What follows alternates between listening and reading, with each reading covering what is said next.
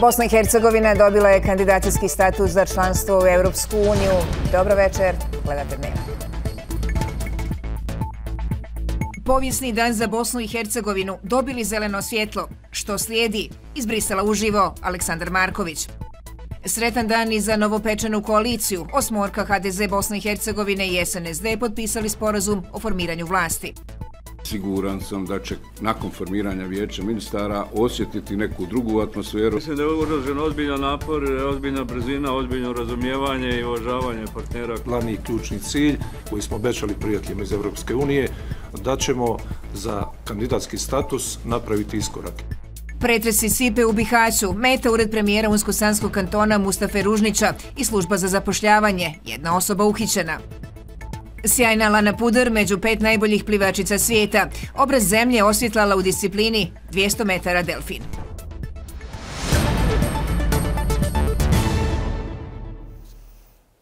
Da ponovimo, dobro zvuči Bosna i Hercegovina dobila je kandidacijski status. Šefovi vlada država članica Europske unije dali su zeleno svjetlo za nastavak puta Bosne i Hercegovine ka europskoj obitelji. A mi u nastavku idemo slikom u Brisel do Aleksandra Markovića. Saša, nakon svega dilema nije bilo. Odluka je jednoglasna, a podrška Bosni i Hercegovini jedinstvena. Nikolina, naravno i osmih na moju licu može govoriti mnogo toga. Sretni smo i zadovoljni svi mi koji smo državljani Bosne i Hercegovine i sa ovim današnjim danom zaista vjerujemo da ćemo doći u situaciju da za nekoliko godina preskočimo još jednu stepenicu koja se zove otvaranje pregovora o pridruživanju i otvaranju nekih poglavlja. No Nikolina, ovaj dan zapravo treba zapamtiti. 15. decembar 2022. godine, ali ja bih rekao treba zapamtiti tačan sat i tačno vrijeme. Ja sam bio u ovoj e, presali e, Vijeća Evrope i Vijeća Evropske unije kada je u 16 sati i 54 minute stigla iz prve ruke vijest da su 27 e, šefova država ili vlada Evropske unije dali zeleno svjetlo da Bosna i Hercegovina dobije kandidacijski status. Bilo je to zapravo, Nikolina, samo jedna rečenica koja je rečeno da je Evropsko vijeće saglasno sa onim što se dešavalo ovdje 13. To je vijeće za opšte poslove e, Vijeća Evropske unije koje je tada reklo da Bosni i Hercegovini treba dati kandidacijski status. Dakle, sa 27 šefova države i vlada udaren je pečat i nema nazad. Moramo naprijed.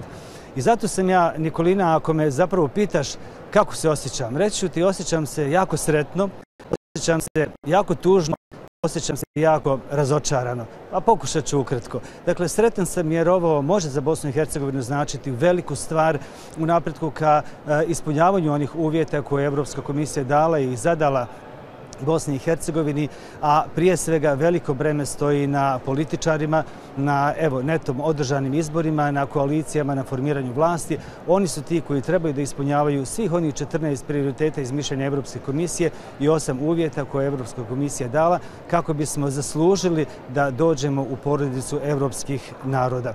Tužan sam zato što se sjetam istog onog 15. ali 15. februara 2016. godine kada je tadašnji predsjedavajući predsjedništva Bosne i Hercegovine Dragan Čović ovdje u Briselu predao aplikaciju za članstvo u Evropskoj uniji koja je nekoliko mjeseci nakon toga postala kredibilna i kada smo zapravo trebali da ispunimo sve one upitnike koje je Evropska komisija pred nas postavila, pa je to išlo traljevo, pa je 14 mjeseci trebalo za jedno, pa 7 mjeseci za drugo, pa smo ispunjavali, pa nismo, na kraju smo i to uspjeli i onda je došao onaj trenutak kada smo očekivali da ćemo možda tad dobiti 2017. ili čak 18.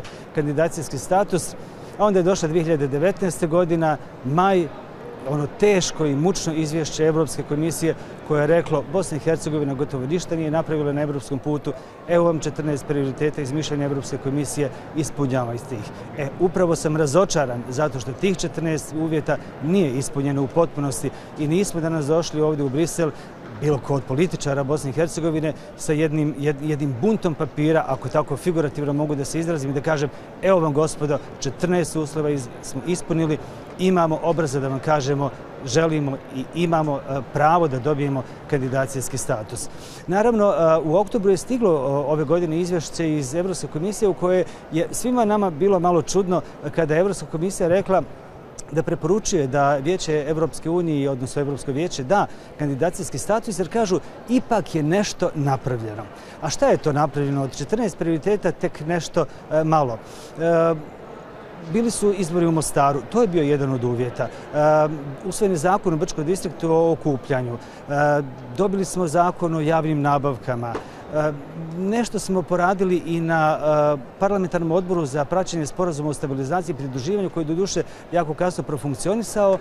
Ono što su nam rekli da smo još dobro uradili je da smo barem eh, pokušali da uspostavimo tu kontaktnu punktnu tačku sa Europolom koja je bila jedna od vrlo bitnih stvari iz ispunjavanja tih kriterija. Međutim, ono što moramo, prije svega, izmeni dopune zakona o Visokom sudskom i tužilačkom vijeću, novi zakon o VSTV, zakon o sudovima, zakon o sukobu interesa, zakon o slobodi novinarstva, o kažnjavanju novinarima, dakle sprečavanju kažnjavanja i drugim situacijama, azil, migracije, e, e deportacije i sve ostalo. Dakle, kako bih rekao, puno posle pred nama, ovo jeste veliki potreb za nove političare. Ja se samo sjećam 2019. godine godine nakon onih opštih izbora, sadašnja povjerenica za sigurnost i vanjsku politiku Federica Mogherini i Johannes Hahn, tadašnji komesar za proširenje, su negdje na početku 19. rekli izbori su završeni, želimo formiranje, brzo formiranje vlasti, ispunjavanje uvjeta za pristup Evropskoj uniji. Slično se dešava i ovo. Bilo nam je i Ursula von der Leyen, bio nam je i,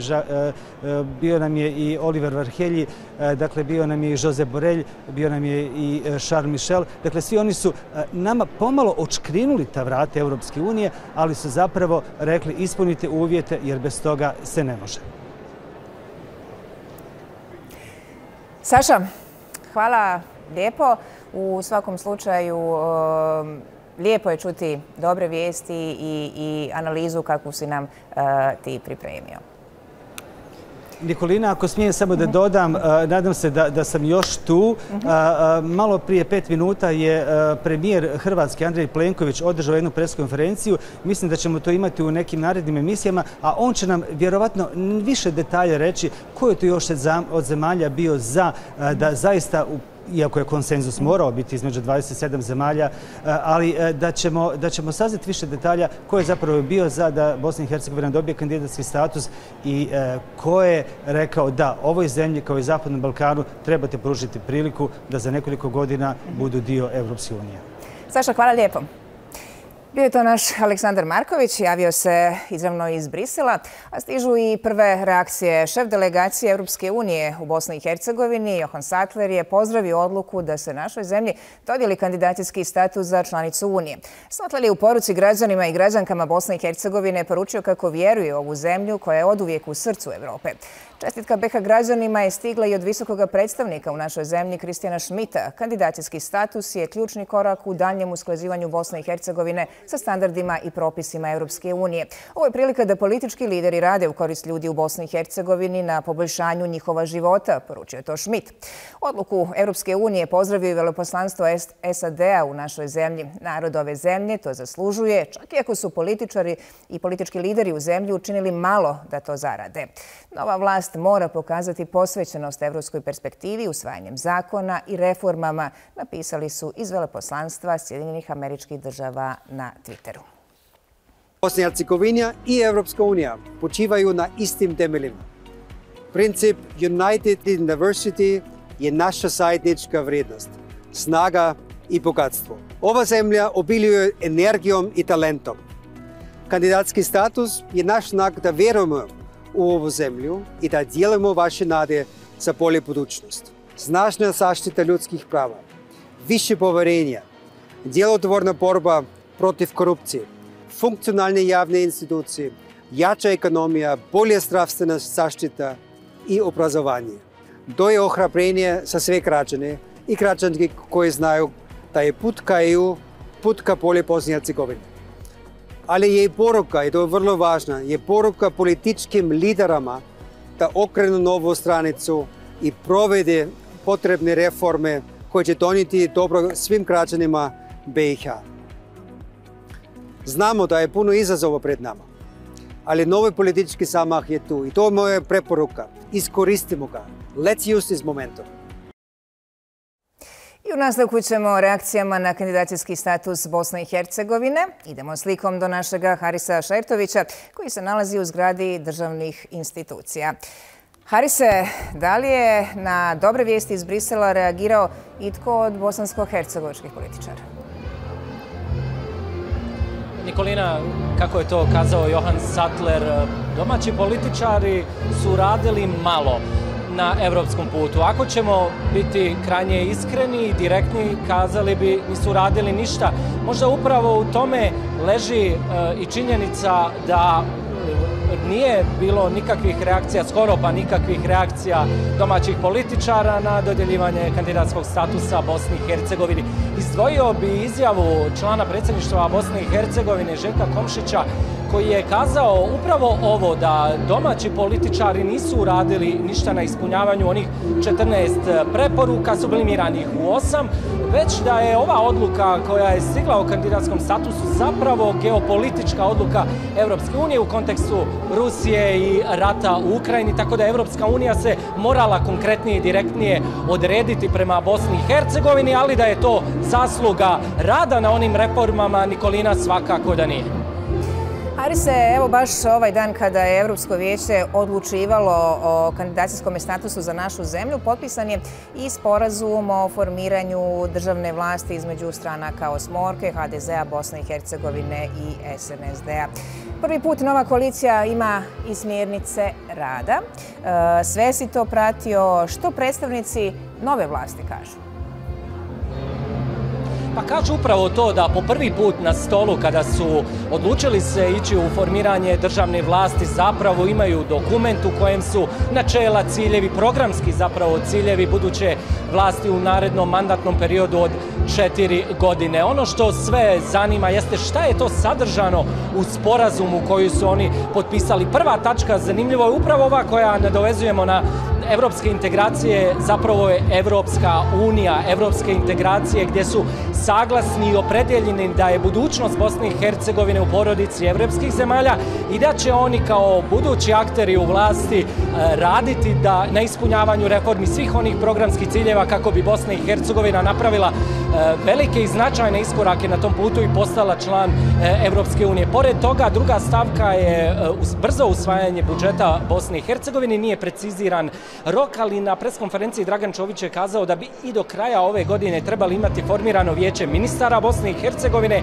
ali i usvojen e, budžet institucija Bosne i Hercegovine. Kaže da bi to bio rekord kada je riječ o formiranju vlasti. Tu su još ubrzanje ekonomije, jačanje tih ekonomskih odnosa između entiteta, ali i olakšice kada je u pitanju strane investicije, reforma pravosuđa, reforma obavištajno-sigurnosnog sistema i ono što je izazvalo i najviše pažnja i što sve najviše interesuje jeste reforma izbornog zakona. Precizirano je u sporazumu u narednih šest mjeseci donijeti reformu izbornog zakona e, kada je riječ o izborima za člana predsjedništva Bosne i Hercegovine, kada je riječ o delegatima u Domu naroda, e, ali dodano i kada je riječ o zaštiti i integritetu izbornog procesa. Nije to dalje definirano kako i na koji način, ali rok je šest e, mjeseci. E, danas su bili raspoloženi, zadovoljni eh, i to zadovoljstvo i raspoloženje u prilogu kolegice Mirne Ždralović. Potpisivanjem sporazuma o koaliranju Osmorka, HDZ, BiH i SNSD poslali su jasnu poruku ko će činiti novu državnu vlast. Iako je u parlamentu BiH ozvaničeno, dogovor su finalizirali u istočnom Sarajevu, gdje je i usaglašen dokument koji su potpisali Nermi Nikšić, Milorad Dodik i Dragan Čović. No pitanje je šta će uslijediti poslije svečanog potpisivanja. Ipak jedno nije upitno. Hvalospjeva i optimizma između koalicijonih partnera nije manjkalo. Dogovori su napravljeni, kako je već kazano, u jednom krajnje fleksibilnom odnosu i razgovore koji smo vodili dalje nastavit ćemo ih vezano za resore, tako da mi mislimo da idući tjedan sigurno što treba sad zakazati izvarenu sjednicu, da imenuju mandatara jer su sve provjere završene. Mislim da je uražen ozbiljan napor, ozbiljna brzina, ozbiljno razumijevanje i uvažavanje partnera koji su ušli ovo sve i da je to podrazumijevalo nekoliko osnovnih elemenata, to je da pokušamo doći do efikasnog formiranja vlasti. Ipak, obilježimo i zabilježimo da je na jedan neobičan brz način za Bosnu i Hercegovinu došlo do dogovora, konsenzusa i svega toga i da krenemo dalje. E, možemo mi potencirati e, razlike koje evidentno postoje između nas u pogledima i određenim stajalištima. Ali mi smo se opredijelili da to je razlike ostavimo po strani, da se fokusiramo na ono oko čega se možemo dogovoriti, da pokušamo vratiti nadu građanima. Za sada je poznat samo načelni dogovor partnera. Za detalje i probleme vremena nije bilo, jer preuzimanje vlasti čini se ne treba da čeka. Koliko su politički partneri iskreni i spremni na kompromis, otkriće se kada važna pitanja budu stavljena na stol. Naglašavaju da saradnja i plan reformi imaju. Na redu je formiranje vijeća ministara. Idemo sa popuno vijeća ministara i glavni ključni cilj koji smo obećali prijateljima iz Evropske unije, da ćemo za kandidatski status napraviti iskorak. Iskorak pravimo. Imamo mi razlike to oko NATO, to je jasno. Niko nikoga nije izgubio pozicija, niko nije napustio svoje pozicije oko toga. Ali smo smatrali da ne treba da gubimo vrijeme oko svega. Rekli smo da ćemo se baviti pitanjem saradnje sa bezbednosti, multilateralnim i drugim organizacijama, sa regionalnim subjektima na pitanjima bezbednosti, jer to očigledno postaje važna priča. Imamo rašto mišljenja što nije nikakva, nikakva ovaj, tajna. E, oko ispunjavanja uslova na, na evropskom putu Bosne i Hercegovine, oko vladavine prava i pravne države, oko socioekonomskih mjera, dakle stvari koje trebaju ovim građanima i siguran sam da će nakon formiranja vijeća ministara osjetiti neku drugu atmosferu. A dobra atmosfera i podrška javnosti, kažu, u ovom trenutku je neophodna, a ne sumnje, jer kako optimistično tvrde, jedino dogovorom se može protiv blokada. Za kraj su zaključili da su današnji datum odabrali simbolično zbog pozitivnih poruka iz Brisela, da bi jasno pokazali da su isključivo za Evropsku BiH. Da li će ohrabrujuće riječi pretočiti u dijela, zasigurno će pokazati u naredne četiri godine. Dakle, Nikolina, prije nego što nastavim, dužan sam jednu malu ispravku. Kolegica Mima Golubić je uradila eh, prilog eh, u vezi izjava aktera današnjeg sporazuma. Zanimljivo je da je mnogo ranije Milorad Dodik eh, kazao kada je riječ o formiranju vlasti na državnom nivou neće svoj potpis nigdje stavljati i danas je na pres konferenciji istina bez novinarskih pitanja sam kazao da se odlučio staviti svoj potpis na ovaj sporazum jer po prvi put ima neki sporazum sa jasnim ciljevima i jasnim programima o kojima treba voditi računa i na kojima treba zapravo raditi u narednom periodu. Kazao je da to ranije nije bio slučaj, u tome ga je podržao Dragan Čović, eh, kazavši kazavši da raniji dogovori sa SDA nisu bili na formi programskih, nego je zapravo bilo o e, suštoj podjeli e, ministarskih, ali i drugih pozicija u vlasti. Nermin Nikšić e, kaže da nemojte očekivati od ponedjeljka blagostanja, ali da će građani i tekako benefite novog vjeća ministara e, osjetiti. Nikolina za kraj ovog javljanja da kažem da je u toku božićni prijem u zgradi parlamentarne skupštine Bosne i Hercegovine u organizaciji lidera HDZ-a Dragana Čovića, dakle u susret najvažnijem katoličkom blagdanu Božiću. Kazali bi da je to svojevrsna dodatak tome i zakuska zapravo na potpisivanje sporazuma o državnoj koaliciji, ali vjerujem da ima tu povoda i za e, zadovoljstvo kada je riječ o dodjeli kandidatskog statusa Bosni i Hercegovine. U svakom slučaju, dok političari e, ovdje slave sve to, e, građani Bosne i Hercegovine bi prvenstveno trebali slaviti ovo vezano za kandidatski status. Toliko. Harise, hvala lijepo. Bio je to Haris Šertović. A novoj koaliciji, njezinim kapacitetima i slabim točkama, kandidacijskom statusu Bosne i Hercegovine, odnosima unutar HNS-a, govorimo i u Dnevniku D. Gost u studiju lider HDZ-a 1990, Ilija Cvitanović. Šmit je tražio od SDA da se povučemo i pustimo stare nove snage da formiraju vlast. Izjavila je to Alma Čolo, do predsjednica SDA, gostujući u jutarnjem programu BHRT-a. Kaže da je visoki predstavnik Kristijan Šmit poručio da SDA ne smije blokirati jer najvažnije je da Bosna i Hercegovina sada uđe u Evropsku uniju. Također dodaje da su predstavnici SDA na sastanku rekli Šmitu da će koristiti sva sredstva sukladno Ustavu i zakonu i sve na što imaju pravo. Neće, kaže, blokirati ništa, ali je naglasila da su osvojili najviše glasova. A koliko je novopečana koalicija SNSD i Osmorke jaka, govori i scenario o kojem smo danas mogli svjedočiti na entitetskoj razini i to prilikom konstituiranja Vijeća naroda Republike Srpske. Za predsjedateljicu Vijeća kao kandidat Bošnjaka izabrana je SNSD-ova Srebrenka Golić. Zbog toga SDA tvrdi da je preglesana i da je evidentno da se pokret za državu sada i suštinski raspao. U međuvremenu u ovom entitetu nastavljaju formiranje vlasti. Nova vlada Republike Srpske će biti izabrana u sredu. Ispunjeni su svi formalni uslovi za formiranje nove vlade Republike Srpske. Mandatar Radovan Višković je već ranije poslao pismo u Narodnu skupštinu. Čekalo se samo da odluka CIKA o potvrđivanju delegata u Vijeću naroda izađe u službenom glasniku, pa su ekspresno sazvane i konstitutivna sjednica Vijeća, ali i kolegijum Skupštine. Ekspoze mandatara kao i ministri novog saziva vlade pred poslanicima će se pojaviti u srijedu 21. decembra.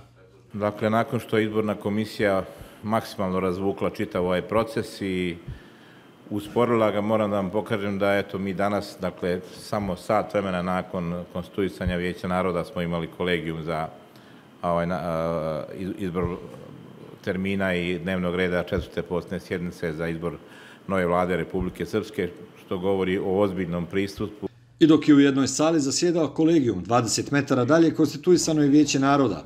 Verifikovani su mandati delegatima i izabrano novo rukovodstvo. Vijećem će predsjedavati Srebrenka Golić iz SNSD-a kao kandidat kluba Bošnjaka. I sada kada su nam vrata Evropske unije otvorena, mi imamo još jednu posebnu odgovornost da štitimo ustavom zagarantovana prava svih njenih konstitutivnih naroda i građana, bez obzira znači, na vjersku, nacionalnu, bilo koju pripadnost, ali bez zloupotrebe ovog instituta. Međutim, izbor Golićeve nije bio po volji svim delegatima iz kluba Bošnjaka. Kažu da je prvi put odluka donesena na osnovu preglasavanja u klubu. Alija Tabaković iz SDA kandidovao za pomenutu funkciju Adila Osmanovića, dok je delegat SNSD-a Igor Bošnjak kandidovao Srebrenku Golić. Očekivali smo da u klubu Bošnjaka koalicija država koja ima od 8-5 delegata, tri stranke demokratske akcije, jedan SDP-a i jedan BH Zeleni jedinstveno glasaju. No, desilo se da su dva delegata BH Zeleni i SDP podržali kandidata SNSD-a Srebrenku Golić. Osmanović je dodao da su delegati iz SDA preglasani prilikom izbora rukovodstva u samom klubu Bošnjaka, te da se danas pokazalo da fantastično funkcioniše koalicija SNSD-a, SDP-a i BH Zelenih, kao što je funkcionisala i prilikom izbora četvrtog delegata u Dom naroda BiH.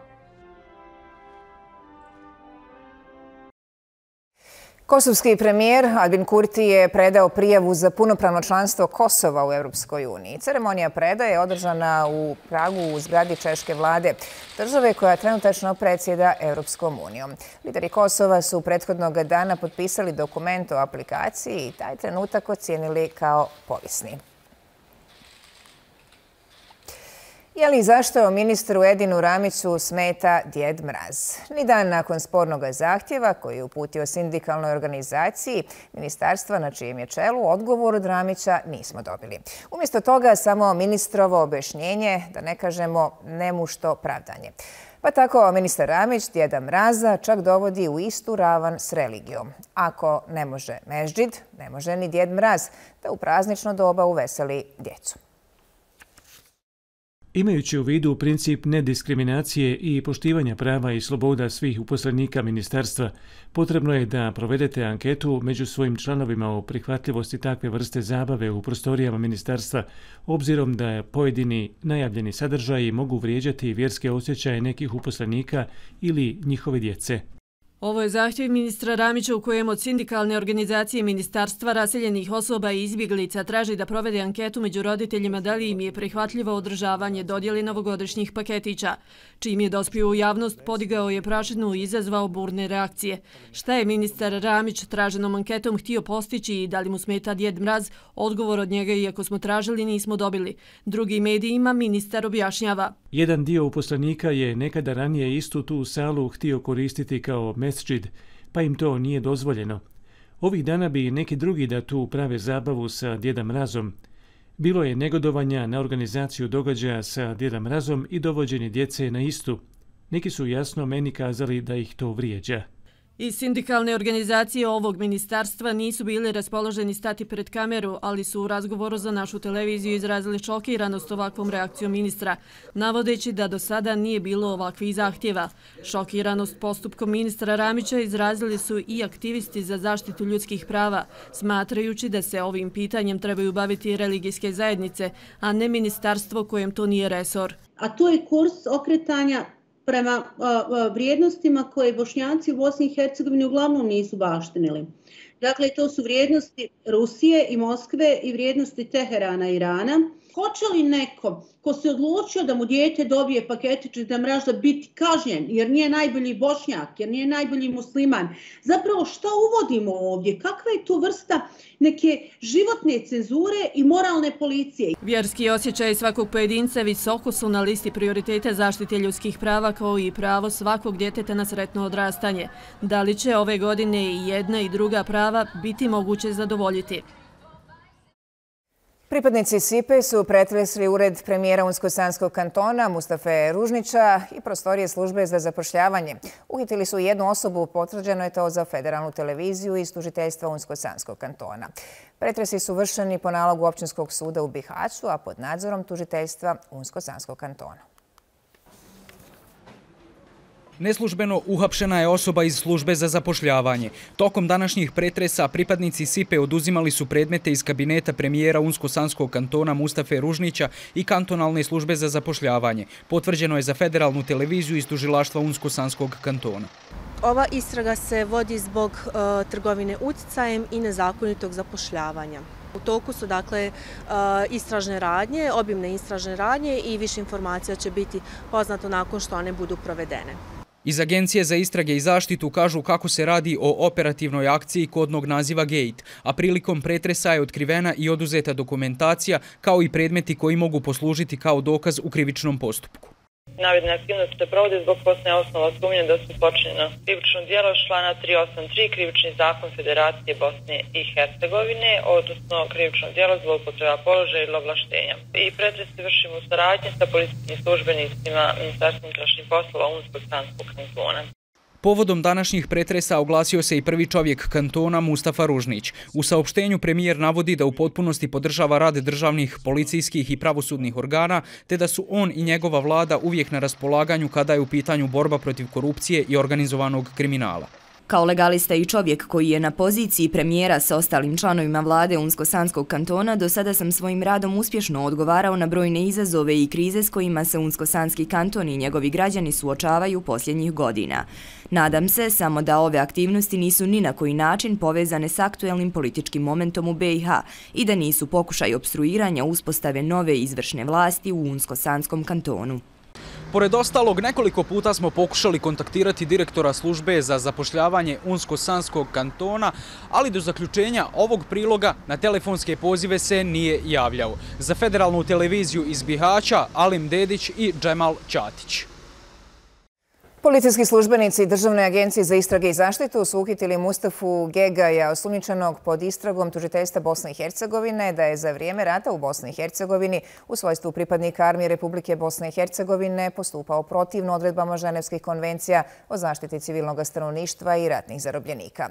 Gegaja se tereti za zločine počinjene nad žrtvama srpske nacionalnosti u sarajevskim naseljima Hrasnica, Butmir i Sokolović kolonija, koji su bili nezakonito zatočeni u objektima na području području Hrasnice 1992. godine, te je na taj način počinio kazneno dijela ratnog zločina protiv civilnog stanovništva i ratnog zločina protiv ratnih zarobljenika. Prvi put nakon 29 godina bivši logoraši iz Hercegovačko-Neretvanskog kantona su posjetili mjesto bivše koncentracijonog logora Gabela. Riječ je o stratištu za hercegovačke bošnjake kojim je upravljala samoproglašena Herceg Bosna i Hrvatsko vijeće obrane. Na 29. godišnicu zatvaranja ovog logora bivši logoraši skupili su snagu da dođu na mjesto stradanja, polože cvijeće i prisjete se svih tortura. Ibrahim Mahmutović proveo u logoru Gabela pola godine. Danas se ne može prisjetiti najtežeg trenutka jer, kako kaže, svaki je bio težak. Dan kada je pušten na slobodu smatra svojim drugim rođenjem. Znači, to bi još maltretiranje, mučenje, degenečenje. Ovaj, najgore je najgore period je bio jedan u, kad smo ovdje bili pa su nas vodili u dvije ture u, u, u grabovine i na ulazu u grabovinama su nas jed, prvu turu ovaj ja sam bio u prvoj turi ovaj bili jednostavno bili Iako je HVO 22. decembra 1993. godine zatvor u Gabeli zvanično pretvorio u tranzitni centar za oslobođene zatočenike, ipak su muškarce bošnjačke nacionalnosti držali zatvorene sve do aprila 1994. godine. Sve vreme pripadnici snaga samoproglašene Herceg Bosne tukli su zatvorenike i okrutno postupali prema njima. Posebno su brutalno zlostavljani prisjećaju se zatočenice držani u samicama. Gabela je bila neka druga a, tip logora gdje su imali življavanja, gdje su se morali prilagoditi da smo kao ajmo reći, pripadnici hrvatskog naroda ili hrvatskog vijeća obrane, gdje su morali da pjevam ustaške pjesme, Sarajevo ispod Trebevića, Ne volim Italija i tako neke te pjesme koje je tada logornik, odnosno upravnik zatvora Boško Previšić Boko nama naređivao, mi su morali ponavljati i pjevati. Županijski sud u Osijeku 24. aprila 2018. godine donio je presudu kojom je upravnik logora Gabela Boško Previšić osuđen zbog počinjenja krivičnih dijela ratnog zločina na jedinstvenu kaznu u trajanju od 8 godina. Njegov zamjenik Nikola Andrun osuđen je na 14 godina zatvora. Mirko Klarin, publicista, novinar i osnivač novinske agencije Sense, preminuje u 79. godini. Klarin je dao veliki doprinos u osnivanju Haškog tribunala, te se u dokumentima UN-a o osnivanju Međunarodnog suda za ratne zločine, počinjene na prostoru bivše Jugoslavije, Mirko Klarin spominje kao idejni tvorac te institucije. Klarin će ostati upamćen kao novinar s neprikosnovenim osjećajem za pravdu. Poručili su to iz udruženja žrtava i svjedoka genocida i pokreta Majke Enklave Srebrenica i Žepa. Klarin je rođen 30. listopada 1943. godine u Trogiru u Hrvatskoj. Toliko u Dnevniku za sada. Ponovno smo zajedno za desetak minuta u Dnevniku D. Uživo, gost u studiju, lider HDZ-a 1990, Ilija Cvitanović. Prije toga sport i prognoza vremena. Ostanite uz program Federalne televizije.